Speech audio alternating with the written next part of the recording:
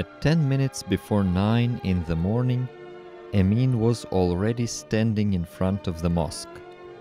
It was quiet all around it, and the weather was a little cloudy. That morning, Emin had an unusual joy in his heart.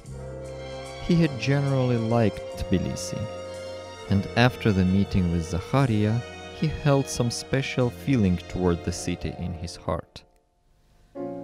I sevmi dihar I sevmiş orada bir I sevmiş ve bahame At exactly nine o'clock, old Zakharia came. They greeted each other, and then Zakharia took a piece of paper out of his pocket. I'd like to read the first stanza of this poem to you in Georgian translation. Just listen to how it sounds.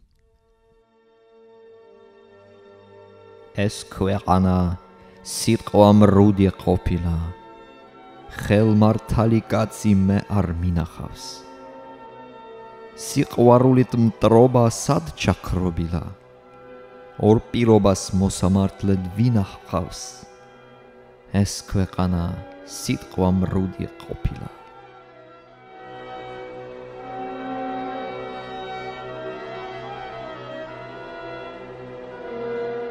It sounds beautiful, sir. Your language is beautiful. Sure. Do you know what Vagif said about Georgian language? No, sir. In another Muhammas where he praised beautiful girls of Tbilisi, he said, Their pleasant accent is like the speech of Christ. See how much the poet enjoyed the speech of Georgian girls. I think he was right. I enjoy it as well. I think the speech of Azerbaijani girls is no less beautiful. It sounds like the singing of nightingales.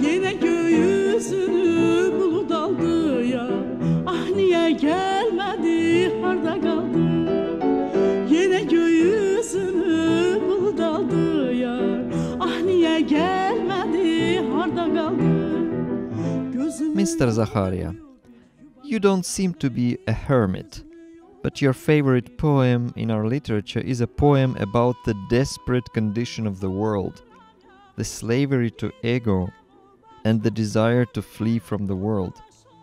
Why do you love this poem more than the others? Mullah Penah was a life lover. He praised beauties all his life, and he wrote optimistic poems about love and just shortly before he died, he wrote this Muhammas. It certainly has some pessimistic ideas. You can feel the poet had lost his hope for this world. But he had no hopelessness in his soul. And do you know its secret? A famous philosopher of the past century, Albert Schweitzer, said, My knowledge is pessimistic, but my hopes are optimistic. That's a very good saying. Yes, it is true. And Zakharia read the first stanza of the poem.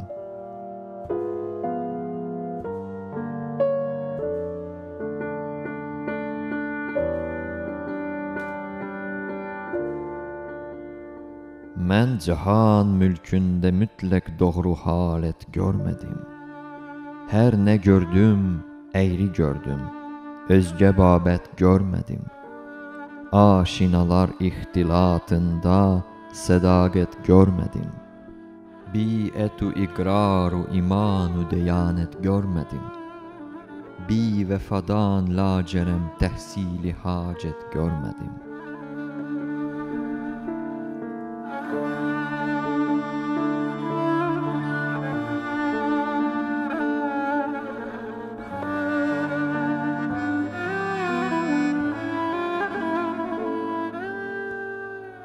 Sir, I want to ask you something. You recently read me the Georgian translation of this stanza. Could you please tell me its meaning in short? Of course. The translation says, How crooked this world is! I have not seen any righteous man.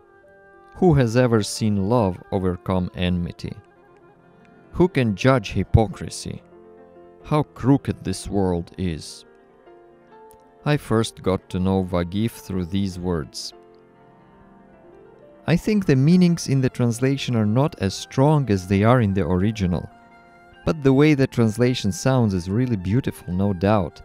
Indeed, it's like the speech of Christ. Yes, I mean, this translation is not flawless. But I'm so grateful to our poet Karlo Kaladze for translating this beautiful poem into the Georgian language. If he hadn't translated it so beautifully, this conversation we are having here right now would have never happened.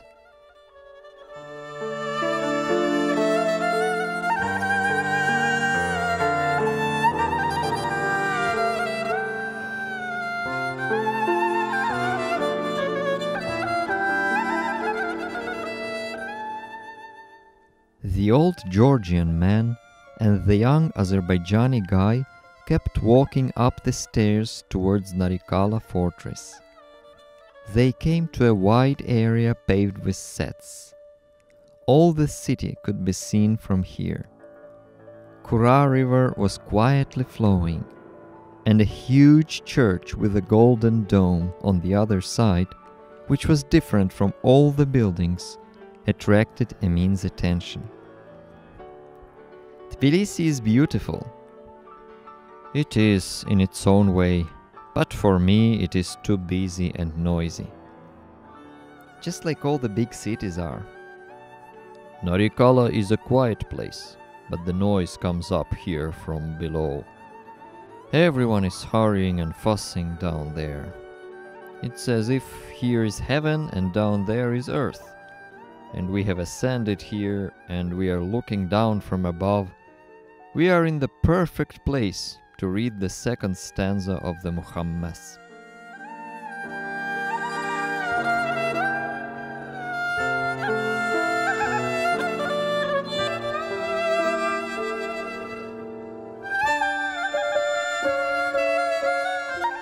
خواه sultan, hah dervişu cedabil ittifak Özlerin kılmış گرفتار غم و درد و فراق جیفه دنیایدر her ihtiyacı iştiyak.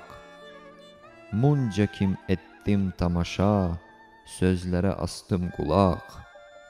Kizb-i böhtandan sevayi Bir hekayet görmedim.''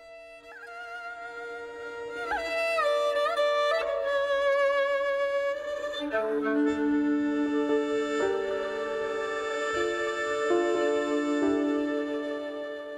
Think about this city, Emin. There are so many people there, both rich and poor. They all have troubles, and they believe that if they only possess the wealth of the world and get good positions, they will have no more trouble. But in truth, they create trouble for themselves with such thoughts. Well, perhaps there would be nothing bad in desiring the wealth of the world for doing good works. But who is thinking about good works nowadays? Everyone wants entertainment. Everyone is selfish. Especially the rich. I believe they should care for the poor more, and they should pay attention to others' needs instead of spending their money for unnecessary things. There is some truth in your words, Emin, but I want to tell you something. We always tend to find fault with others. The poor find fault with the rich, while the rich often justly complain of the bad character of the poor. In fact, everyone has his or her part in the common fault of the human race. And I believe that is what Vagif is talking about here in the last lines of this stanza. Pay attention to it. However much I looked and listened to the words, he says, I have not seen anything except for lies and slanders. Everyone desires the riches of the world, But if you listen to people, what do you hear them say? Hmm, many people say, I want it for my children, not for myself, or I want it for good, not for evil. So people justify even their desire to get rich. We see ourselves as right and good, and others as wrong and bad. This is what lies and slander means, mean. I am not better than them. I am a sinner human being just like they are. I have no right to judge them. Human judgment is but lies and slander. The Bible says, Who are you to judge the servant of another? There is only one lawgiver or judge, and it is God. Man is not your servant, but God's servant. God will judge even the secret intents of the hearts. How can I know whether or not the person has an evil intention in his or her heart? God knows. When I talk evil of someone, I slander that person without even realizing it. Sure, everyone will give account to God for themselves. This is what we Muslims believe as well. It is written in the Quran, O Allah, creator of the heavens and the earth, knower of the unseen and the witnessed, you will judge between your servants. We people know only the witnessed, but God knows the unseen. Our poet was right. People's words are nothing but slander. By God, Mr. Zakharia, it's so interesting to analyze this poem together with you. And I find it interesting to talk with you. Besides, this poem has profound meanings. Mullah Penah, as a master of pen, wrapped these meanings in the poetic music which is pleasant to our ears. One does enjoy reading this poem and meditating on it. You know, I mean, I lived a long life in this world. I have seen a lot, and I assure you that people are gradually losing the ability to meditate. The generation before us would meditate more, and nowadays people are unable to meditate. Everything has become superficial. The speed of life has accelerated, and it is impossible to meditate at high speed. In order to meditate, you need to pause and focus your attention.